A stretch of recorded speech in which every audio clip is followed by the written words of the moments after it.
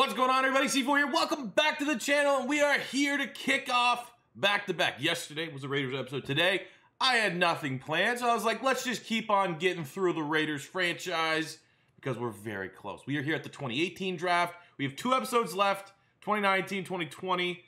Um, and we're close.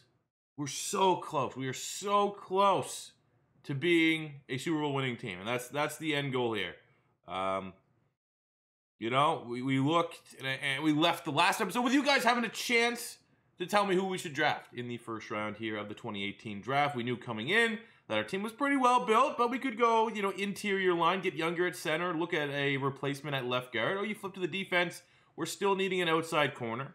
We, you know, debatably, you know, Marcus Maye's normal dev trade is staring you and punching you right in the face.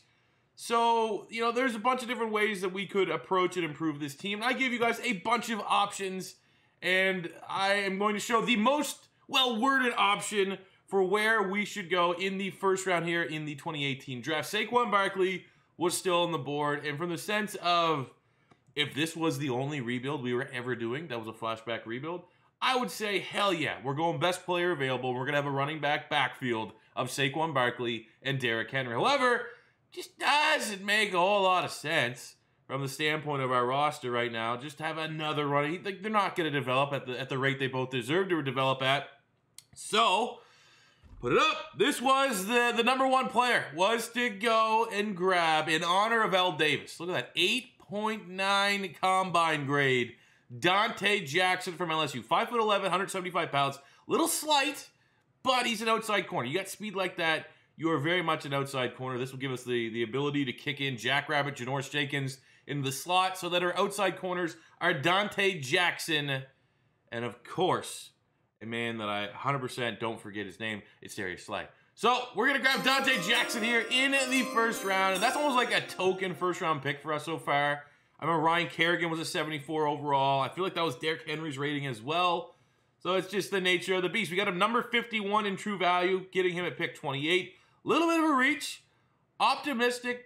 Nah, I'm not going to say optimistic. I'm pretty sure we can expect, assume that's most likely just going to be a star silver dev trait. But 74 with 95 speed, 91 acceleration, 95 agility, 78 man, 85 jumping. He has 95 strength because some of these players are still bugged for when I was editing the draft classes. I'll touch that up because I don't think we're ever going to see a 175 pound player with 95 strength again. But I'm happy with it, man. Donte Jackson, big time playmaker for the Raiders going forward on the outside.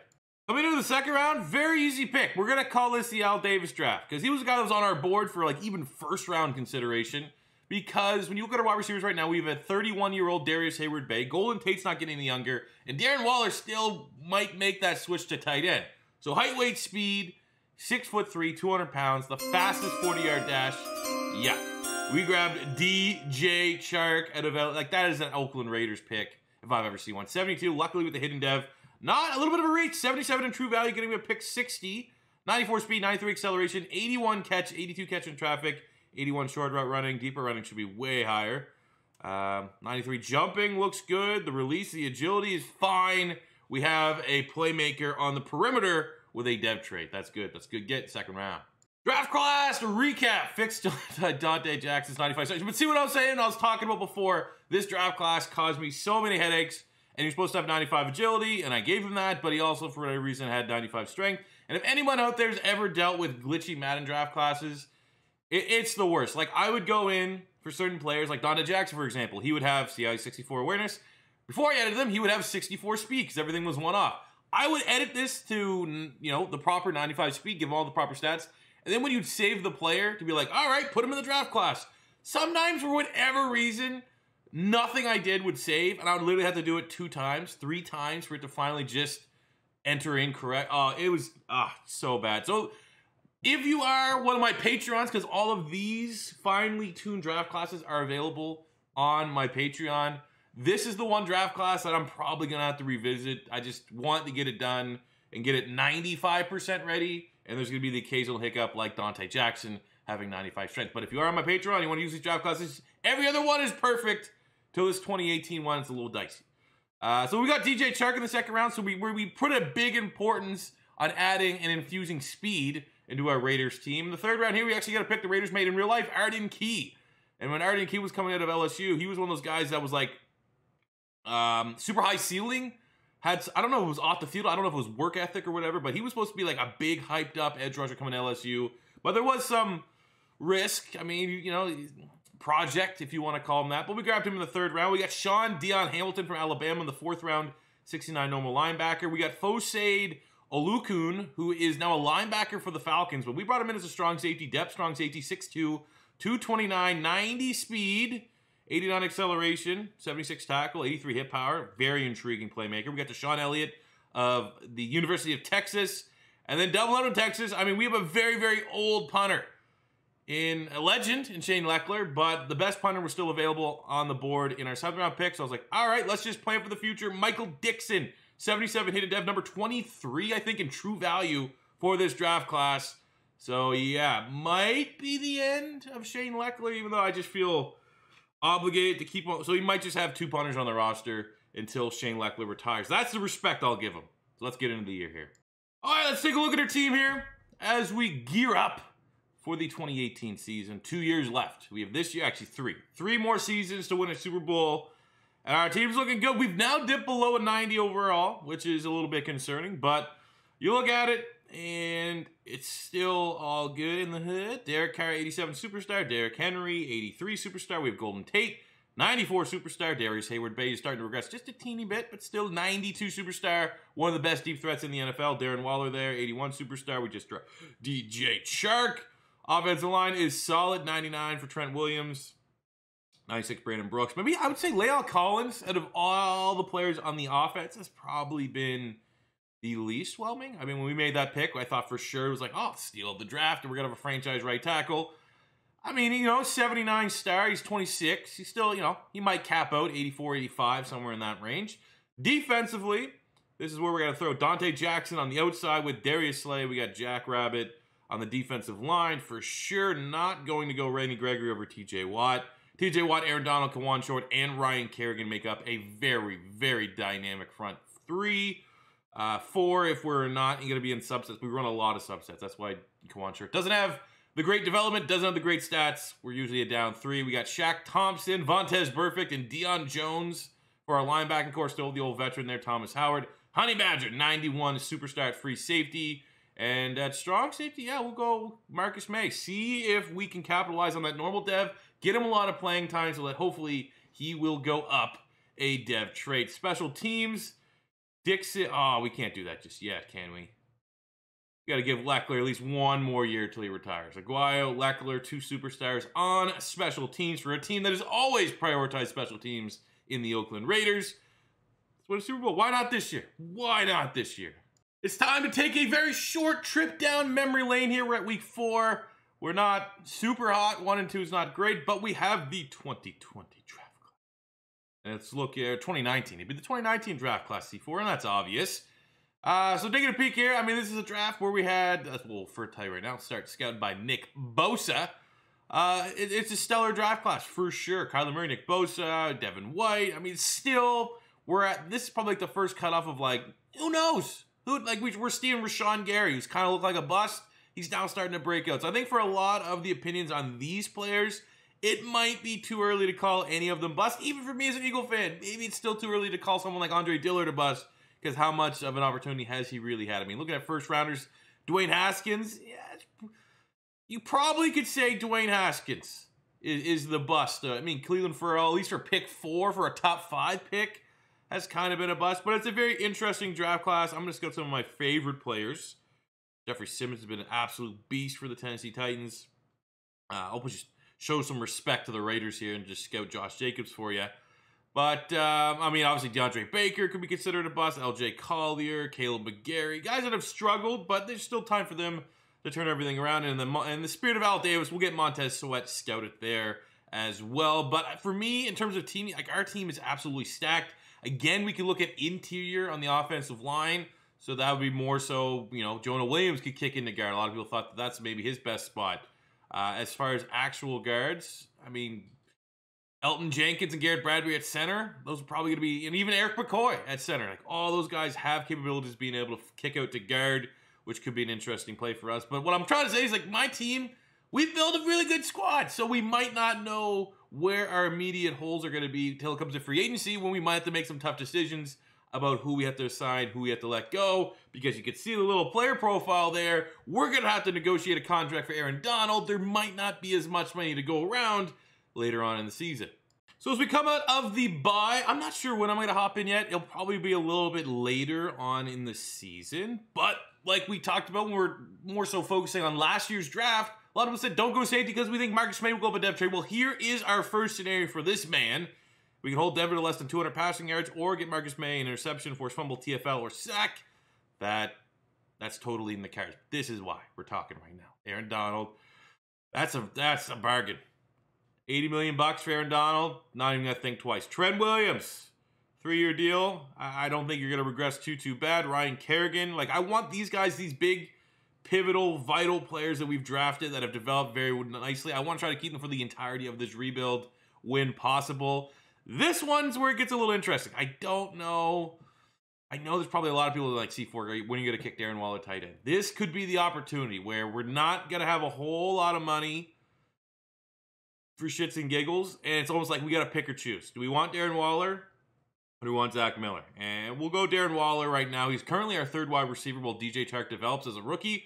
I think just off the top of my head, play next year, we'll go Chark at wide receiver, will be one of our starters, and we'll kick Darren Waller into tight end. For the rest of our contracts here, I mean, we could have some respect offered. I mean, we have Shane Lechler's replacement. He's 42. It is what it is. Maybe Thomas Howard, we see if he wants to be a depth guy. La'el Collins should get himself a new deal. Uh, does Marcel Reese want to re-up on a two on a one year? He does. That's cool. He wants the gang want to be back here. What about Samson Satele at center? One year? He wants a little bit more money and kiss my ass. But hey, Aaron Donald, $80 million? You're laughing. We lost the game against Denver, but Marcus Maye went up his dev trade as expected, so that was quite the gamble from you guys in the comment section, but it paid out. So I gambled near the end of the season. I was like, probably going to make the playoffs. That's when we can hop in and try to just get this thing started right out. I didn't know it was going to be the wild card.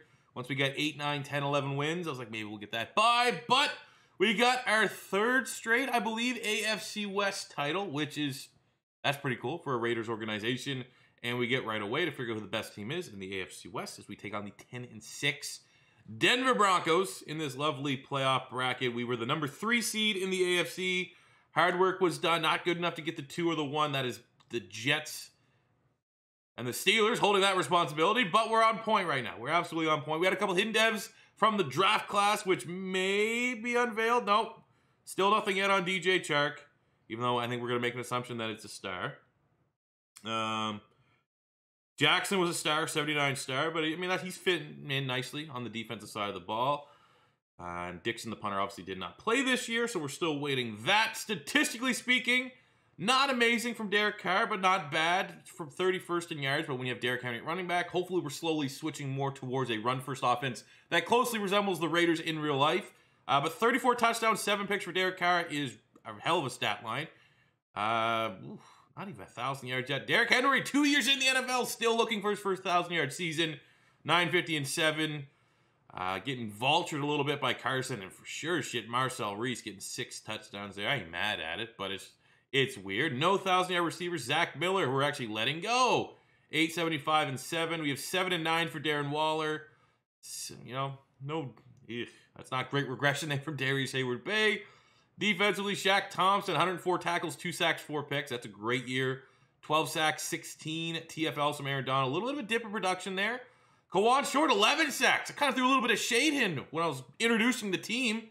And he had his breakout year. Six and a half Kerrigan, six for TJ Watt, four picks Thompson, four for Honey Badger. Interceptions are up for the squad, which I like to see a lot. But offensively, 30th in the NFL is not it's not where you want to be, but we have a top five defense, which is good. MVP went to Christian Ponder. You know, that's that's the fun. Doing a series like this. Things like that happen. Uh, for individual awards, any Raiders that we can see? Jahvid Best. Let's go.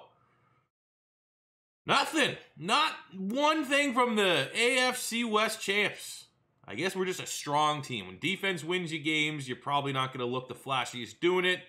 But we're going to hop in and try to throw a little sizzle in for the offensive side of the ball as we get into this wild card game at home hosting the 10 and 6 Denver Broncos. Let's see quickly just what this what's the makeup of this Denver Broncos team. They have what?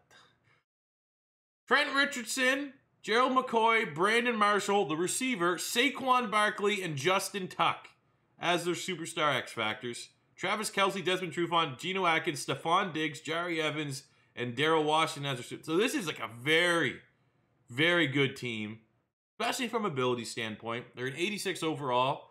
We blow them out of the water in terms of overall team quality, but you never know. Haven't played Madden yet today. This is my first game coming in cold. That's always a prime opportunity to throw like five picks. Let's see what happens. Third and 17. Love hopping into this. But it's a prime opportunity just to throw a bomb. Throw a bomb or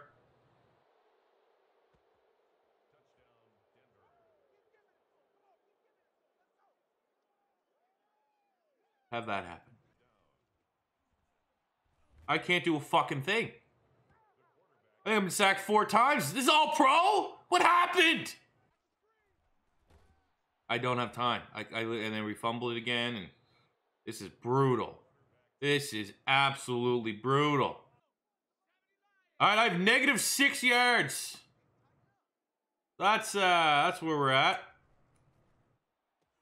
There we go. Got something going. Pass. I completed a pass. That might be the best highlight you see today. We have the tight end. Get up. Like this, is like someone went in on Madden side of things, conspiracy theory, and they're like, you know what? Let's keep it say it's all pro, but it's actually gonna be all Madden because I cannot do a fucking thing. Oh, he's just beating my 99 left tackle like a drum. Sam Acho up in Trent Williams' ass right now. Well, at least we now get to get to an offense where it's like, all right, Hail Mary time. Every play, it's got to be some version of a Hail Mary. At least we got one of those here at Darrius Heyward-Bey. We're off of having negative six yards total offense so far.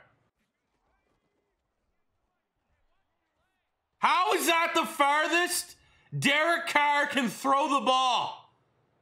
30 yards. He's Drew Brees.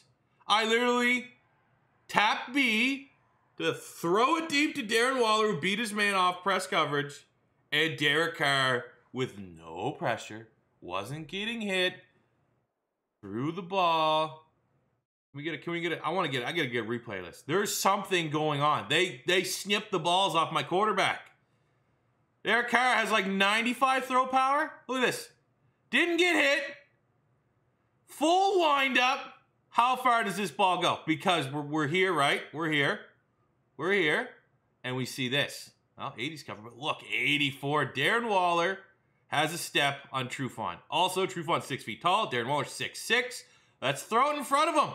Let's throw it in front. So let's see how far the depth and distance we get on this Derek Carr bomb. All right, he's about the we'll say we'll say the 15 for round number's sake. Hail Mary barely gets across the 50. Are you telling me we don't have that kind of arm talent, Derek Carr. Clean pocket, full swing, full throwing motion, and we undershoot it 40, or what, 35 yards? 35 yard Hail Mary. If you haven't bought Madden 21 yet, don't. It's the worst Madden of all time. This will 100% when we look back 10 years from now, 15 years from now, Madden 21 will be known as the worst Madden of all time. And we're enjoying it. We're, we got to embrace the memes because this is the worst Madden that's ever been made. So I couldn't do anything on offense. I just simmed the game out and we almost won it and then they didn't win it. Okay. Okay. Next fucking part of the video, please. Fuck, this game sucks! First thing in the offseason, gotta pay respect to a legend for this rebuild. Thomas Howard has announced his retirement after 13 years. Thank you for your service, sir. We enter free agency with really only one need, and that is center. And we have a big upgrade here, potentially Nick Mangold. However, I think with those three centers that we identified in the draft, Erik McCoy, you could look at Garrett Bradbury. We're going to get one of those two. So I think we just prioritize getting center in the draft, getting a center with a dev trade versus spending money in free agency. That money, that is very dwindling. You got to remember, two years ago, we had over $100 million in salary cap. But now we're starting to re-sign all these good rookies that we're drafting. So I think it's more of a priority to continue to draft well and keep our talent in-house than it is to land a veteran that is only for a short-term gain on the free agency market. Now, next year, if things start getting a little shaky, we only have one year left of the rebuild, and we're not quite there for a Super Bowl contender, then we can look at splurging whatever remaining salary cap we have into free agency to try to improve this team for a one-year run. All right, we're doing the draft this time. We know our needs. We got to get a center. We need someone on the interior of the offensive line. I mean, look at all these other names. Elgton Jenkins, you're our guy. Don't it? We need a brand new center. 70 hidden dev. Our current center, Isaac St. Is 74 normal. 70 hidden Depth. I'll take that every day of the week. Number 58 in true value, getting him at 24. He's an absolute beast, can play everywhere on the offensive line. Great pick for the Raiders. So we'll finish off this episode with the draft summary. I will say right now, if you are checking out this video, you have yet to vote on the poll. I made a channel community poll talking about the future of this series in terms of how it's presented versus um, essentially what we've done for every other team doing single year videos or moving back and shifting to a traditional one, no, one big meal of a video. I want you guys to vote on that. I want you guys to have your voices be heard. For our draft class, it was, I mean, we just kind of all blinders on bringing in an interior lineman and Elgton Jenkins, absolute beast. I'm very, very happy with that selection. Uh, I reached the chance to bring in a, you know, reunite another reader, Maxx Crosby, who might be their best defensive end right now. He's a 69 out of Eastern Michigan. I get Michael Deiter on the offensive line, 64. Dre Greenlaw, 68 hidden depth. Pretty solid linebacker there for the San Francisco 49ers, so brought that in for depth. Jaquan Johnson, 66 normal. We got Nate Herbig, 60 normal. And we got our third hidden dev of the draft in the seventh round, drafting Preston Williams out of Colorado State. Now he's a member of the Miami Dolphins, but a 64 hidden dev there for a big bodied wide receiver. So a solid draft class very importantly, landing a brand new center that can anchor this offensive line for the final two years of this rebuild. It's going to be tough. It's going to be good, though.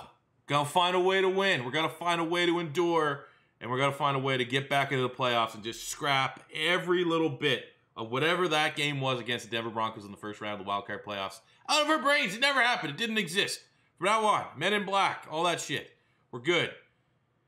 But that'll do for me today, guys. Thank you for watching. Make sure you vote on how you want to see these videos. You can just let me know in the comment section below. I'm always looking at the comments anyways, but it's just easier to get it all quantified into a poll format on the channel.